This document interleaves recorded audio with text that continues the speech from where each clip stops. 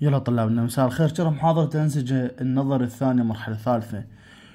definition تعريف. طبعا الموضوع هو ال inflammation الالتهاب.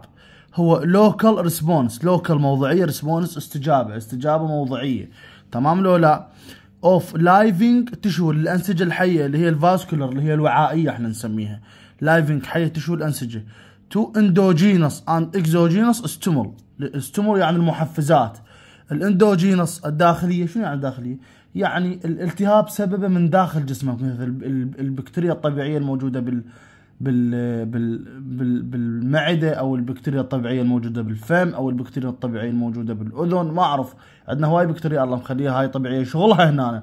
فمرات يصير خلل فتسوي التهاب تمام؟ لو لا هاي نسميها endogenous داخليه ال exogenous تلعب طوبه تنكسر رجلك صار التهاب. هاي خلاص هذا exogenous okay؟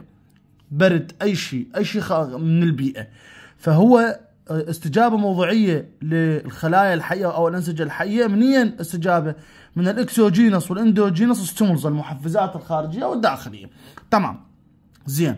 بعدين إيش قال لك؟ إذا term مصطلح أو اسم هذا مال ال inflammation مال الالتهاب. derived مشتق from من Latin inflammare كلمة لاتينية اسمها inflammare اللي هي meaning تعني ال burn الحرق أو الاحتراق.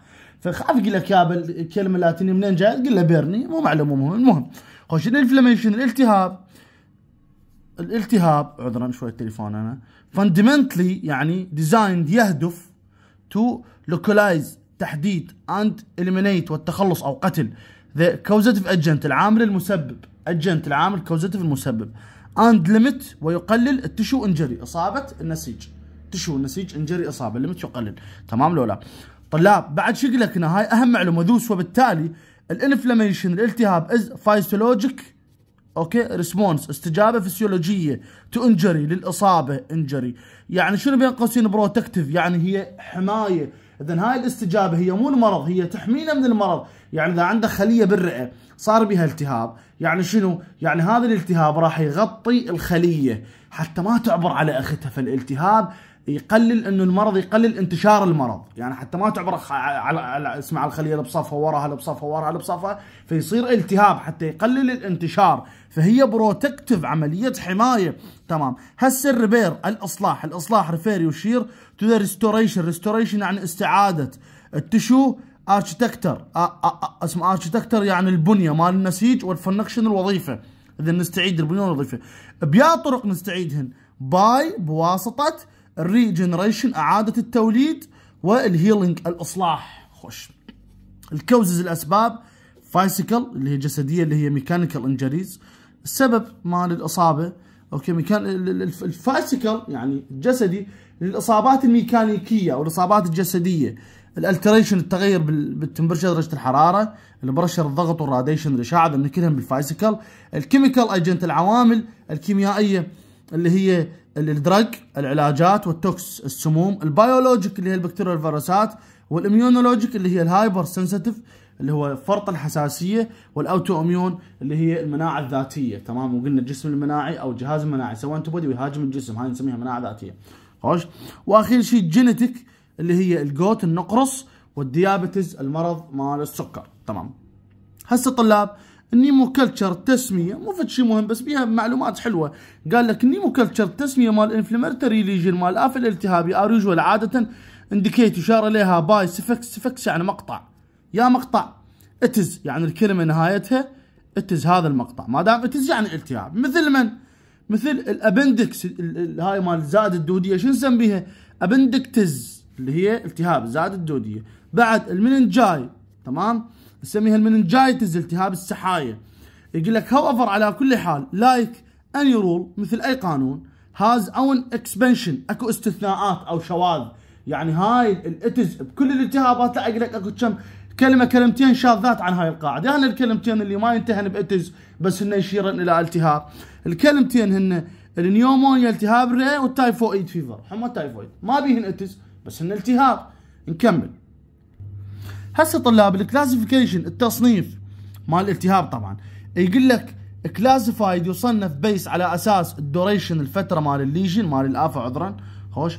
على أساس الفترة مال الالتهاب أو الآفة lesion يعني آفة أو اصابه وال histologic appearance المظهر النسيجي. على أساس ذن الشغلتين راح نصنفه. شو نصنفه على أساس ذن الشغلتين؟ نصنفه acute حاد يعني التهاب حاد والتهاب مزمن. خاف باكر يقول لك شلون صنفنا التهاب حاد والتهاب مزمن؟ على أساس تقول له على أساس الفترة وعلى أساس النسيج. زين شنو أنواع الالتهاب؟ حاد ومزمن. الحاد الحاد هو immediate يعني فوري يعني فوري و early response استجابة مبكرة تمام؟ short duration فترة قصيرة last تبقى minute دقائق خوش؟ زين. ال be character مميزة by exudation اللي هي الخراج اللي هو ال fluid سوائل و plasma protein وبروتينات من البلازما زين انطيني الخراج أو التصانيف اللي هي المكونات مال الالتهاب هذا. شو المكونات؟ serous مصل خوش؟ ومعطيك هنا بس بس المصل خلاص. ومعطيك هنا تعريف ال abscess الخراج أو المصل. الخراج هذا ما له علاقة. الخراج يعني هاي ال white BC خوش؟ ال abscess is accumulation تراكم ال pus. ال pus يعني ال white BC تمام؟ تراكم ال white BC مع destruction الحطام مال ال tissue مال الأنسجة. من يتراكم؟ يعطينا abscess خراج وكلكم شايفين الخراج. تمام. ال catarrhal اثنين طبعا هو شلون شلون نقاط السود؟ يعني النزفي والنزفي هذا mucous serous مصل purulent قيح و hemorrhage نزف. fibrous ليفي وهو croupous croupous يعني خناق أو مرض الخناق اللي هو diphtheritic diphtheritic هاي البكتيريا اللي يسوي لنا مرض الخناق. فنعطيك اثنيناتهم. تمام. ال purulent اللي هو القيح اللي هو ال abscess الخراج و ال phlegmon. تمام. هسه وبعد شنو؟ ال hemorrhagic النزف وال putrefactive اللي هو إحنا نسميه العفن الدموي. خوش. نكمل. نكمل. هنا five cardinal sign علامات الخمسة مال ال acute inflammation اكو خمس علامات الاصابة الحادة. ياهن خلينا نشوفن أول شيء redness احمرار وبعد نكمل. هسه طلاب نكمل النقطة الثانية ال heat الحرارة ال swelling الانتفاخ ال pain الألم ال loss خسارة ال function الوظيفي. أكيد من ينهار النسيج بالاخر يخسر وظيفته بعد. خوش. فقط تعداد يا ريتن يقول لك هنا ال acute inflammation الالتهاب الحاد categorized يصنف into إلى early vascular and late cellular اللي هو وعائي مبكر vascular وعائي early مبكر late متأخر cellular خلوي. response استجابة. أما استجابة وعائية مبكرة وأما استجابة خلوية متأخرة. تمام ولا لا؟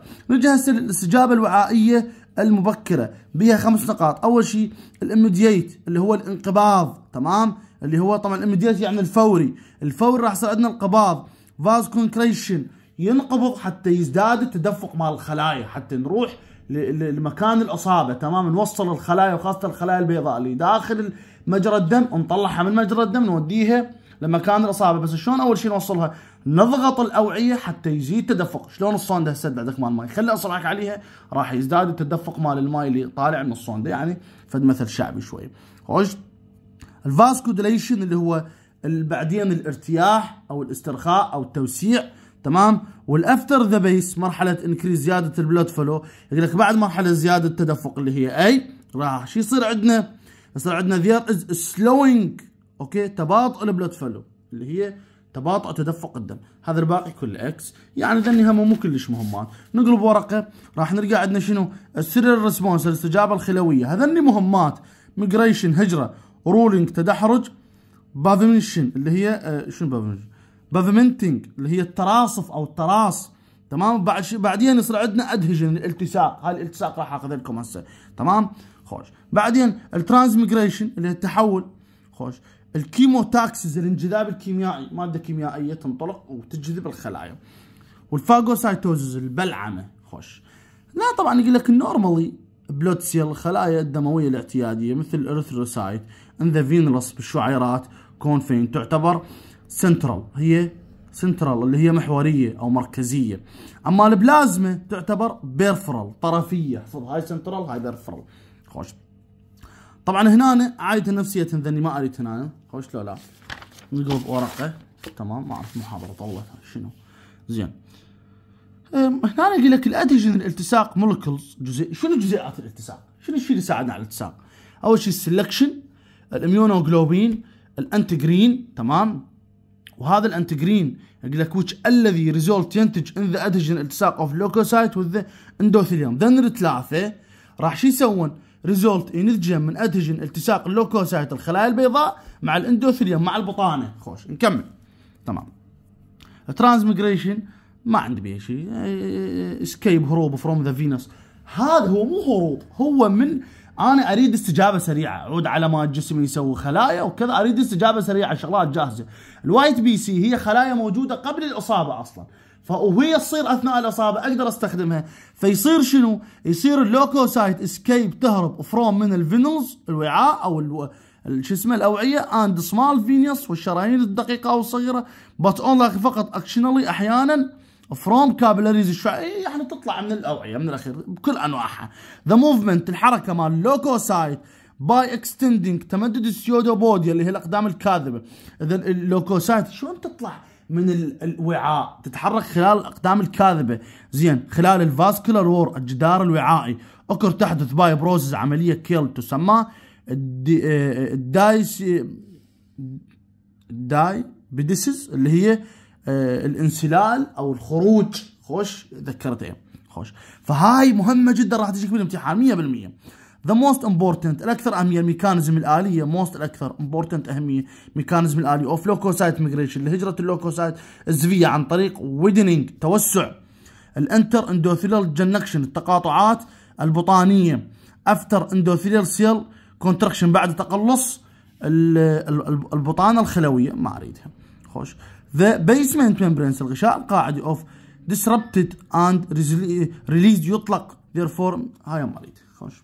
هسه ال chemotaxis الانجذاب الكيميائي. صارت كلش طويلة هاي. chemotaxis الانجذاب الكيميائي. يقول لك ال chemotaxis اتجاه واحد attract leukocyte from the vascular inflammation within escape from الكلام مالت هذا. the most important الأكثر أهمية ال chemotaxis factor العوامل factor العوامل chemotactic اللي هي الكيميائية أو الانجذاب الكيميائي ال most الأكثر. important أهمية for neutrophil لل neutrophil أكثر عامل يجذب ال neutrophil يجيبها. منو؟